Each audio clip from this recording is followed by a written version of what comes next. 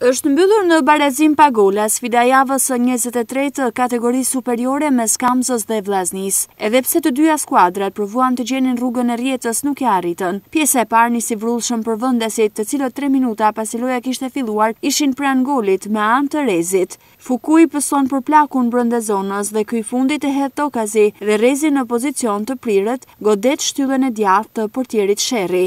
Në minutën e trembëdhjetë Vllaznia provon me anë të Gilman Likës, kapiteni lëshon një të majtë, por nuk ka rrezik për portierin Gjonikaj, i cili e ndal në kohë. Dyzet e pesë minutëshi i parë dhuron edhe disa raste të tjera si në minutën e njëzetë dhe tridhjetë e shtatë dhe në të dyzetën, të gjitha nga Kamza. Edhe pjesa e dytë ka momentet e saj pikante ku në të gjashtëdhjetë e tretën minutë Vllaznia zbret rrezikshëm nga e majta, por topi i hedhur në zonë nuk devijohet nga askush dhe e kalon të gjithë pasqyrën e portës.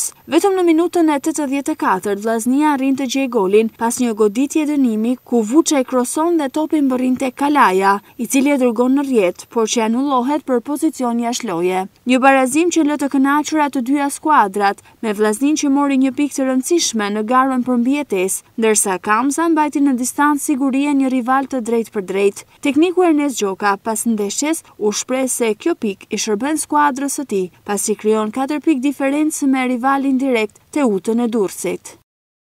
Mos harroni që kishim ardhur në Kamëz dhe kishim një ndeshje ndaj një skuadre si Kamza që deri tashmë ka bërë mirë, ka bërë mirë dhe ka marrë shumë pikë. Kjo ishte edhe një motiv më shumë për ne që të ishim dhe shumë të kujdesshëm. Plus që ne zakonisht Kemi ato mënyrat tona të lojës, po sot hymë pak te loja e kundërshtarit, loja e egër, përplasja, topi i gjatë, etj. etj.